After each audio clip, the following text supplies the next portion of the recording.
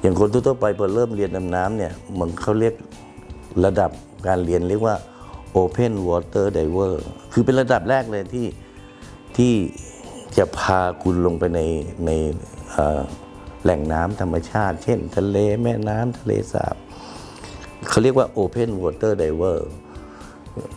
หลักสูตรนี้จะดำน้ำมีข้อจำกัดก็คือห้ามดำน้ำเกิน 18 เมตร ถ้าเกิดอะไรที่ลึกกว่า 18 เมตรเนี่ย คุณยังดำไม่ได้นะ ถ้าคุณคุณเรียนอยู่ระดับนี้ อันที่สองคือห้ามดำในสิ่งที่ไม่ได้รับการเสริมประสบการณ์ เช่น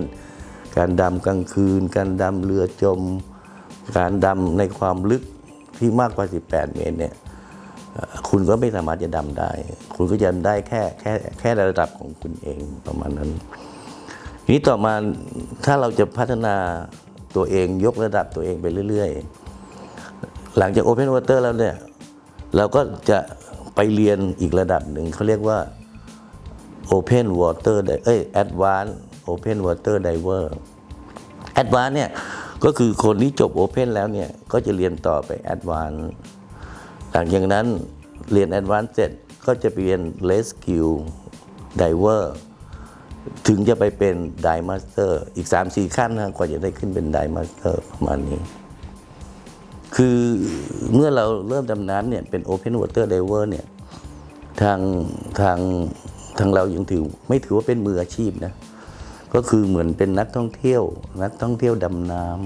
ำถึงแม้เธอจะเรียน Advance เสร็จเนี่ยจบ Advance เนี่ยก็ยังไม่ถือเป็นมืออาชีพ ยังไม่สามารถจะมีอาชีพรองรับประกอบ ถ้าเรียน Rescue เนี่ยก็ก็ยังถือไม่ถือว่าเป็นมืออาชีพนะ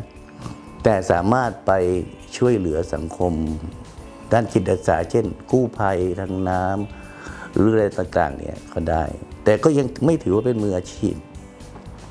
หลังจาก Rescue ไปถึงเป็น Dive Master เนี่ยหรือเรียก DM เนี่ยอย่างเงี้ยเขาเรียกว่ามืออาชีพเนี่ยคำว่ามืออาชีพก็คือ มันมีกฎหมายที่รองรับ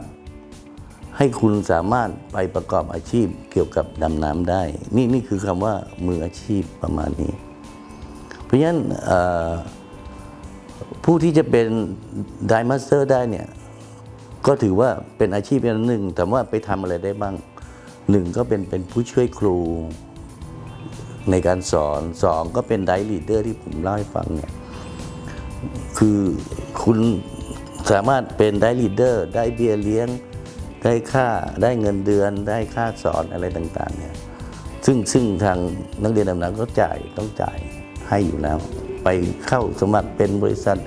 ดำน้ำทำหน้าที่เป็นมักคุเทศก์นั่นแหละทำใน dive leader นั่นหมายว่าคุณก็จะต้องมี cer certificate อะเรื่องจบ divemaster มาก่อน เขาถึงจะสามารถให้คุณเป็น dive leader หรือเป็นผู้ช่วยครูได้ครับประมาณนั้น สถาบันดำน้ำของโลกเนี่ย